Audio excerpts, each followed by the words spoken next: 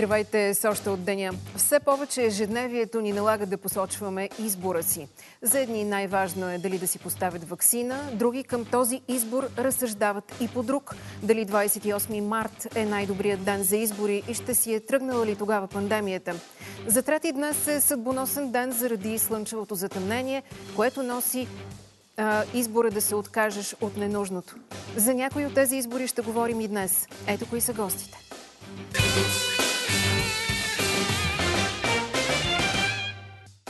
Магистратите и пандемията. Как COVID-19 повлия на съдебната система. Разговор с представляващия Висшия съдебен съвет Боян Магдалинчев. И още. В края на мандата и преди парламентарните избори. Каква бе политическата 2020? Анализ на политолога Първан Симеонов. При нас вече е Боян Магдалинчев, представляващ Висшия съдебен съвет. Здравейте и добре дошъл, господин Благодаря. Магдалинчев. Добър вечер. Начинът по който ще се избира прокурор, който ще наблюдава работата на главния прокурор, вече е, се дебатира в Народното събрание. И едновременно с това Европейския съюз обвърза получаването на еврофондове с върховенството на закона. Вие виждате ли връзка между тези две неща? Естествено, в годишния доклад, тази годишния доклад на Европейската комисия за върховенството на закона, този въпрос е застъпен. Това е една от констатациите на Европейската комисия. Безспорно, тя е била предмет и на разискване на Венецианската комисия по повод миналата година внесен законопроект за, за изменение на наказателно-процесуални кодекси и закона за съдебната власт. Както знаете, беше последван от проект за нова конституция на Република България, където бяха заложени в това число и промени в тази посока. Така че резултатите неизбежно се влияят. Законодателният процес обаче, наблюдавайки го отстрани и вниквайки в детайлите, детайлите много повече, отколкото вникват повечето хора, вдъхва ли ви доверие? Ще можем ли да отговорим на заложеното, на посъветваното от Венецианската комисия, защото знаем какво се случва с новата конституция, виждаме как върви и дебата за това да се наблюдава работата на главния прокурор? Доколкото съм течение на това, което се залага в процесуалните закони, ще предстои избор на прокурор, който да бъде с определен мандат, мандата да бъде 7 годишен, който да може да разследва главния прокурор, евентуално при извършено престъпление и неговите заместници. Идеята действително тук е за промяна на процесуалните закони и закона за съдебната власт. Закон за съдебната власт ще регламентира органите, които могат да предлагат този прокурор, а процесуалните закони процесуалните действия, които да не бъдат в обхвата на правомощите на главния прокурор при извършено престъпление или при предприемане на процедура за временно отстраняване или за освобождаването от длъжност на това основание. Това са предложенията на управляващите от ГЕРБ, които внесоха тези промени, но пък техните критици казват, няма как прокурор, който е избран от същите тези а, а, прокурори, които са гласували за главния прокурор, да могат, а, да, бъдат избър... да, да могат да изберат такъв, който да е независим. А защо да не може, след като процесуалният закон ще му гарантира една в рамките на тази процедура независимост от главния прокурор и от неговите заместници? Вие сте съгласни с така предложените, така Аз да разбирам. по принцип намирам като възможна тази идея.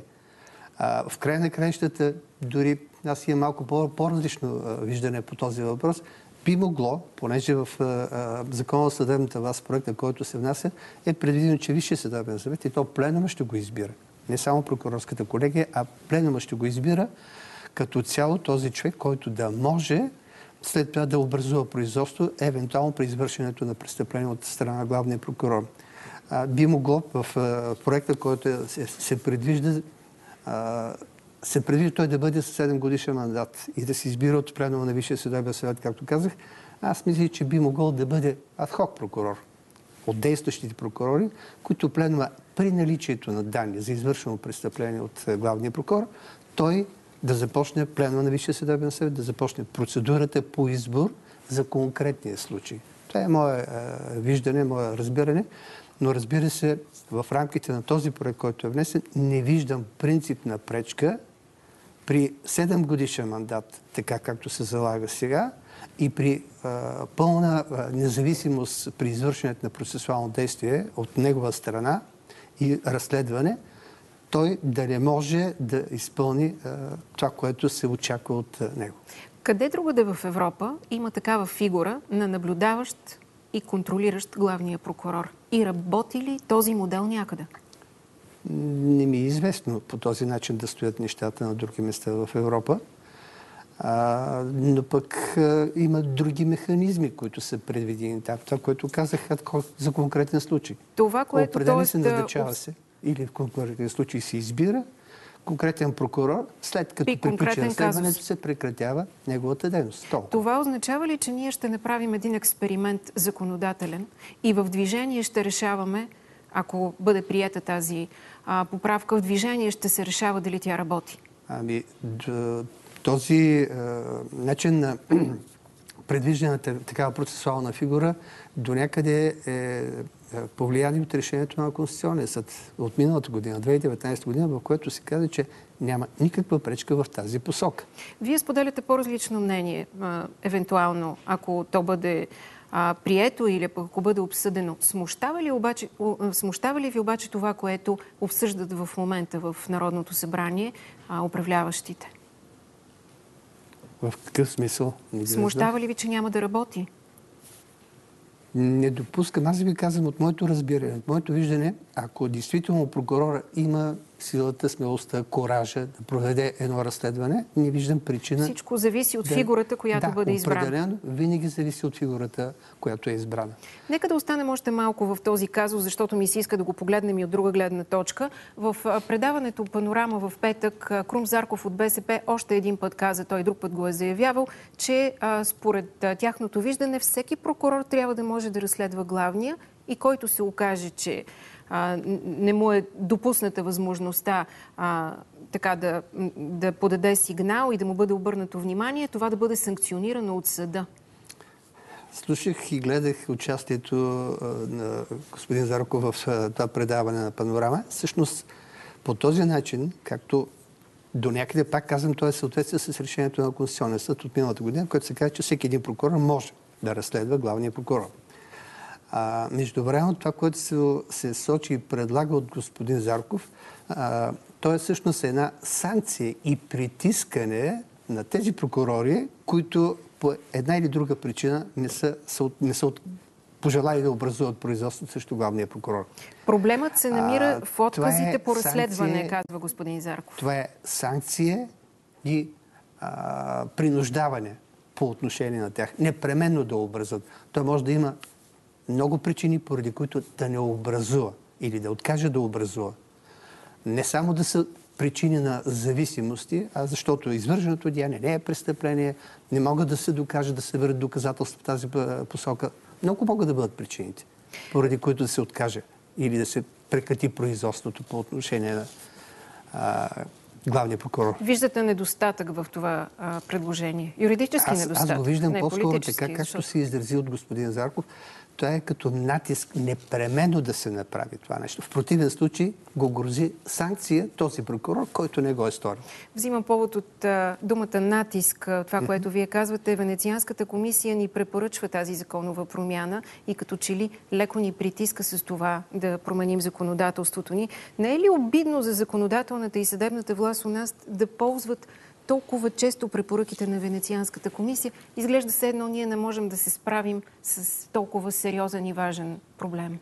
Край на кращата Венецианската комисия е един консултативен орган и нищо повече. Има българска конституция, има български конституционен съд, които са задължителни за нас. Така или иначе, тя, въпреки всичко, а, те е един действително много така авторитетен орган. Безспорно това е да, така. Въпросът ми е за българските институции. Тук въпросът беше по-скоро обърнат към българската законодателна и съдебна власт. Ми може, разбира се. Може нашия национален законодател сам да стори това нещо. Добре би било, защото би звучало не само обидно, не, според мен не е обидно, а по-скоро се така се поставят нещата и се предварително информираме за някои неща, които ние можем да допускаме или да, да не ги виждаме и съзираме достатъчно добре.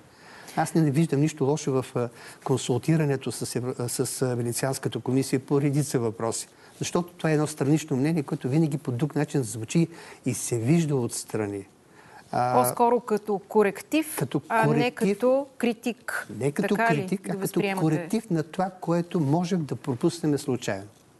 В навечерието на парламентарни избори сме в момента. Чуха се вече заявки от политици и партии, че в следващия парламент ще работят за прекратяване мандата на сегашния Виш съдебен съвет. Как ще отговорите и как ще коментирате това?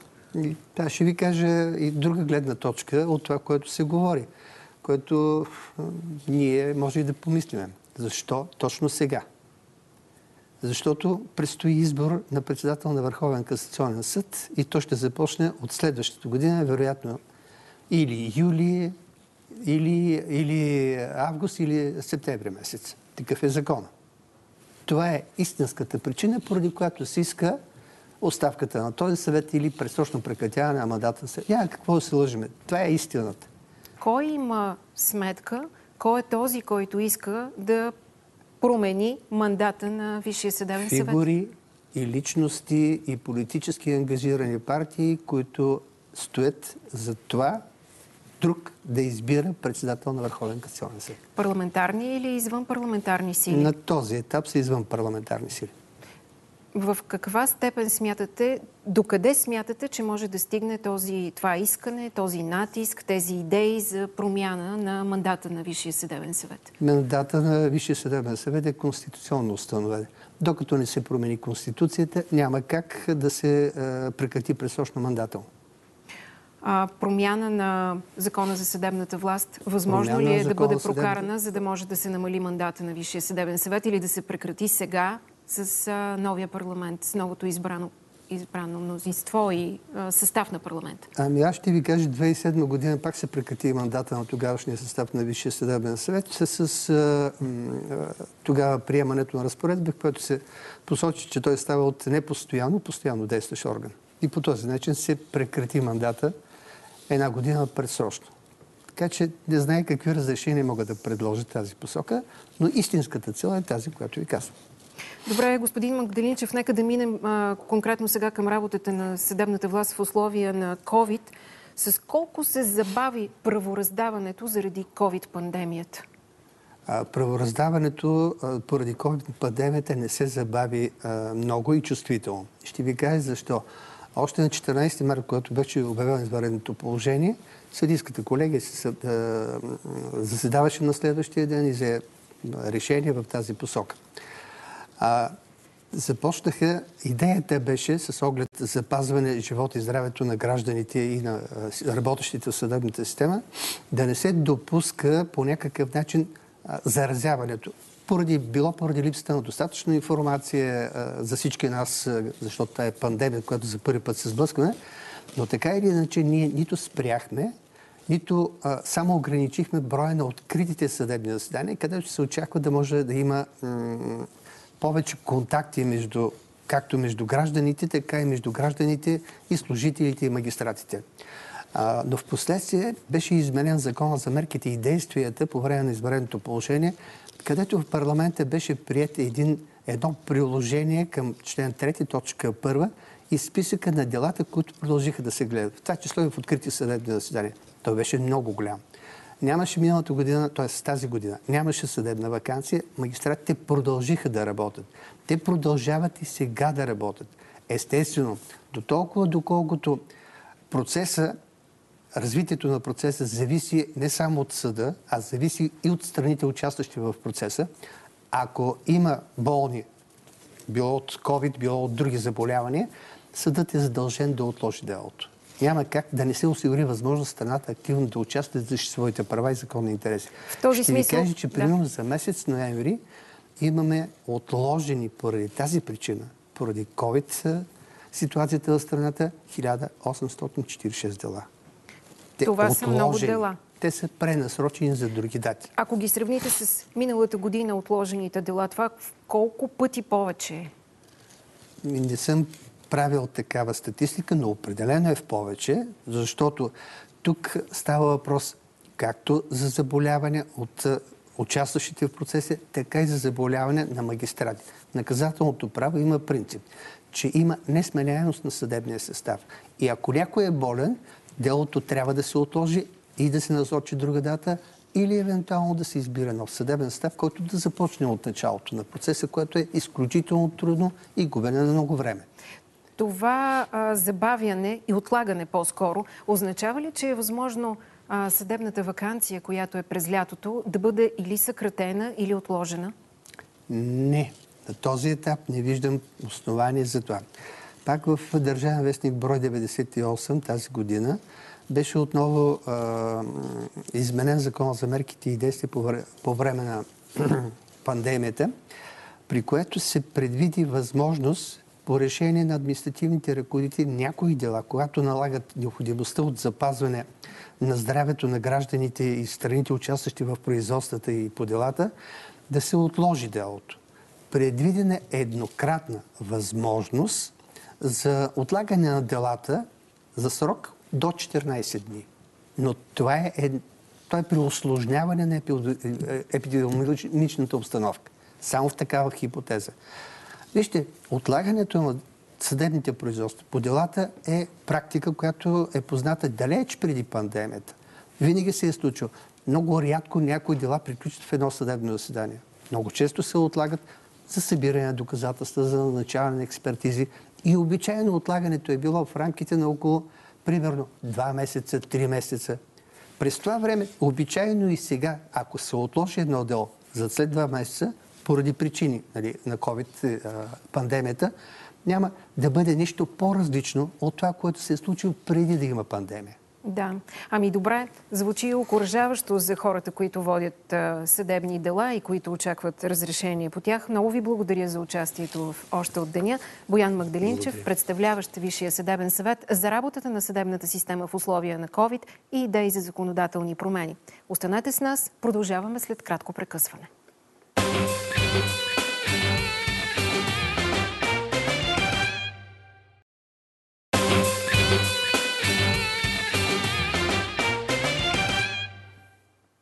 Още от деня продължава. Тук е политологът Първан Симеонов от Галъп. Здравейте и добре дошъл в нашото добре, предаване. Здравейте, добре, Взимаме повод от предишния разговор. Само след няколко дни се навършва една година от встъпването в длъжност на главния прокурор Иван Гешев. Видяхме в новините 150 ден протести и с за оставка на правителството, промени в прокуратурата, оставки. Какъв е вашия коментар на всичко, което се случи за тази една година? Сега тези протести някакси вече ми се струва, че трудно ще постигнат тези цели. Що се отнася до правителството, то всичко личи ще остава до края. Всичко може да се случи, разбира се, но ми се ще да напомня отново и отново, че тази прогноза беше валидна още с началото на протестите, докато много други колеги обясняха как правителството ще падне до една седмица. А, Що се отнася до главния прокурор, той там направи най-хитрото, което може да се направи в тази ситуация. Той просто се яви и каза няма да подам оставка и, и толкова си. Ако забелязвате, после протестите, като че ли вече не говориха за главния прокурор, защото за разлика от Борисов, който хиляда пъти се чуди една напред, две назад, нататък, главният прокурор просто каза няма и няма.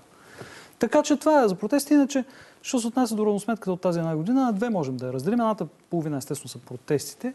Другата половина е активизацията, тази активизация на прокуратурата, която главно беше на тема битова престъпност. И това се забеляза. Имайте предвид, че аз гледам данните всеки месец за нивата на доверие в съдебната система, прокуратура и съд. Данните живнаха. Даже стигнаха сериозни нива. Разбира се, трябва да се има предвид, че има десетилетия на наслояние негативен образ на цялата съдебна система. Тоест това е бавно. Сиреч на хората им се харесва една такава офанзива разбира се, с някакви рамки. Нали, когато става дума за битова престъпност, това ми се струва безспорна тема. Така че годината е разделена на две. В първата година главният прокурор настъпва, във втората половина трябваше да се отбранява.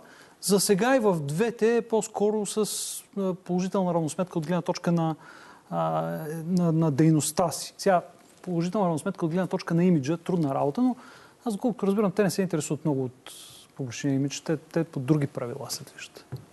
Вие днес извадихте едно проучване, което сочи, че българите подкрепят края на строгите мерки на 21 декември.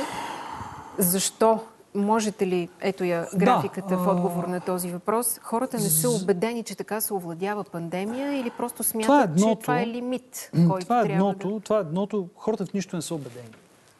А, просто толкова много разкази чуват лекар след лекар, лекар срещу лекар, че накрая, ако питам имате ли доверие в лекарите, се оказа, че това не знаят. В смисъл, отговорите са нещо като 30 на 30 на 30. А, което между другото е сигнална лампа за лекарите, но както и да е.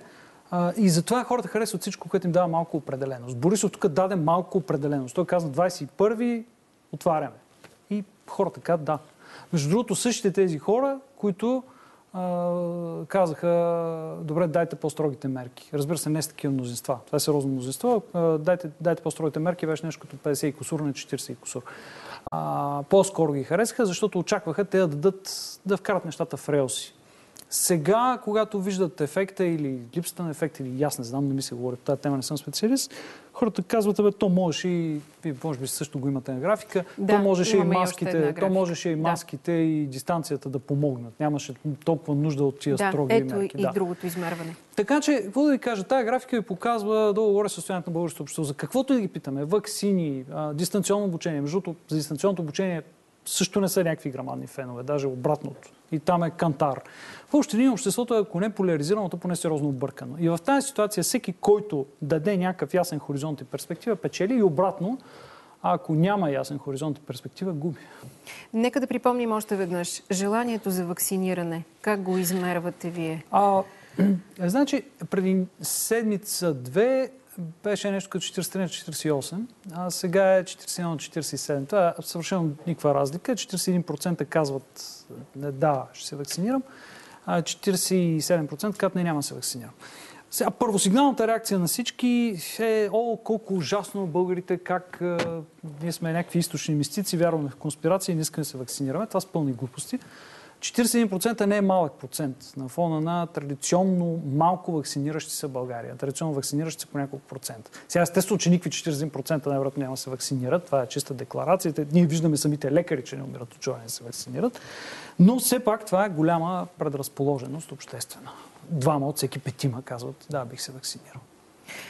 Понеже говорим за общественото мнение, то много сериозно се раздели по един а, а, проблем или около една личност. Това е Кобрат Пулев. Вие също а, видях, че написахте един да. пост във Фейсбук а, заради, именно заради крайните критики и полярните оценки около личността на Кобрат Пулев. Какво измерва това отношение към хора, които се бият за България? Срам от България, срам от самите себе си измерва това отношение, ако трябва да, бъда, да, да стигна до, до крайности. Аз сега първо, защото не се е разделило. Има във Фейсбук една общност морализаторска, понякога твърде лицемерна, понякога много искрена. Между другото, аз напълно я разбирам, тя иска спортиста е някакъв нравствен идеал. Така и аз това искам. Обаче в съвременното общество, капиталистическо, консуматорско, пазарно, рекламно общество, скандала е част от това шоу, този шоу бизнес, който е професионалния бокс. И професионалния бокс е игра на, на нерви. Там има заяждания, има провокации. Това е игра на нерви между щабовете, впрочем. И в този ред на мисли ние да казваме, сега Пулев къв е простак, това първо, първо не е вярно. Значи, категорично не е вярно. Пулев има и своите качества на спортист и на човек.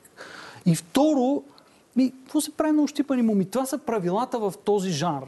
Такива са правилата в този жанр кой, че не се сещам от известните боксери с малки знакови изключения, разбира се, не е бил леко скандалджия.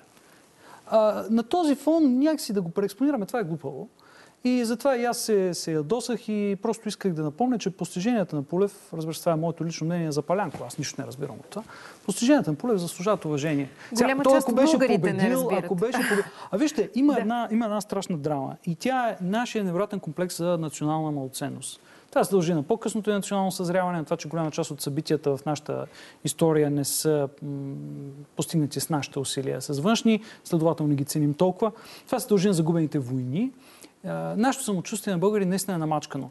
И когато някакви хора а, се гносят от Полев, те също се гносят от собствения си народ. Много често.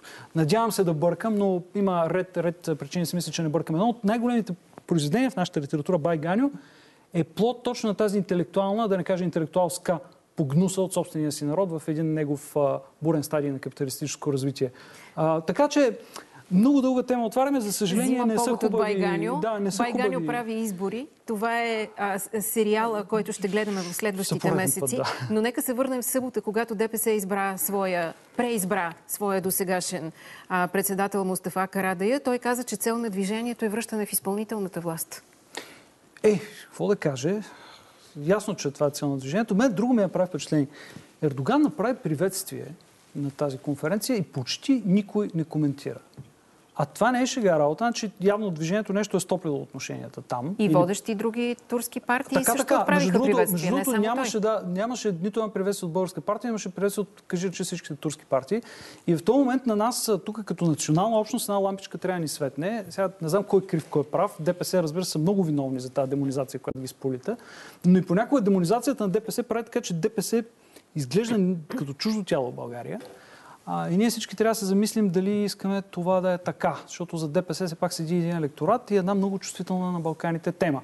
И някакси идеята, че излиза такова нещо и никой не му обръща внимание и пак продължаваме да си говорим, а какво ще да стане с Пеевски, ма какво няма да стане с Пеевски. Всичко това е второстепенно в съвременния свят, националните държави, особено тук на Балканите и техните национални интереси имат огромно значение. Появи се президент на голяма съседна държава и каза някакви неща, а ние тук пак си мислим какво ще да стане с Пеевски. И въобще, както и да е.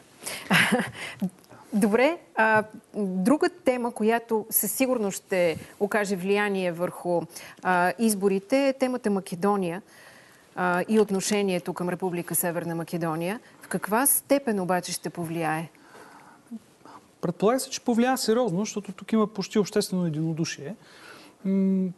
Патриотите могат да се надяват на прилив. Тук ВМРО е много видима позиция.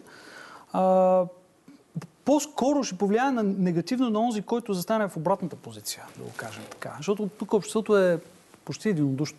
Значи, достатъчно е погледнете либералните медии, прозападните либерални медии, които участват в очевидна кампания. Не казвам, че това е задължително нещо лошо, но очевидна кампания за промяна на общественото мнение в България, нещо да омекне България и така нататък. Това е някакъв западен натиск, очевидно. Погледнете форумите на тия медии, собствените им читатели, погледнете отдолу лайковете и хилежите. Значи, Хилежите решително преобладават. Тоест, дори западните либерални хора и читатели и маса у нас не харесват собствените си медии, когато те пишат тези неща, които писаха. В интерес на истината има едно много простичко нещо по отношение на Македония. Там всичките банални клишета са да бъдем добри с тях, за да ни обичат. Истината понякога е, че трябва да бъдем авторитетни пред тях. Отдавна е доказано по македонски въпрос, че когато България е авторитетна пред тази общност, печели повече уважение и повече последователи, отколкото Вероятно обратното. това ще бъдат и а, тези, които ще направят впечатление по време на изборната кампания, но а, така ли, че говорим а, вече за избори, президент Радев каза, че няма да бави изборите и те ще бъдат на 28 март. Критиците му обаче побързаха да кажат нещо друго. Не се знае пандемията до кога ще продължи а, и че той се води само от желание да сложи край на този парламент, на това управление. Много е сложно това. Преди да, да дойда само коментирахме с ваши колеги и да ви кажа целият, аз ходи, дойдох пеша от офиса от тук, че всички тия 40 минути ходене, коментирахме за и против това. Първата логика казва, докато още не е изтинала тръпката от протеста, някакси да има по-бързи избори, да си ходят тия по-бързо. Плюс това е зима, кисела народа и, и герб ще го отнесе. Втората логика обаче казва, електорат на БСП ще се оплаши, а, Слави Трифонов няма да си направи концертите, Майя Манолова няма да си направи структурите. Даже а, Демократична България нещо е против. А, а ГЕРБ са готови за избори. Тоест, а плюс това май са си разчели бюджета и така. А, тъй, че май от днешна гледна точка по-логично е да се радват от ранната дата партиите с твърд електорат и то май по-скоро ГЕРБ, защото електората на БСП може да се оплаши. Добре, ами благодаря ви за този анализ Благодаря в аз. нашото студио. Така завършваме. Довиждане от нашия екип. Thank you.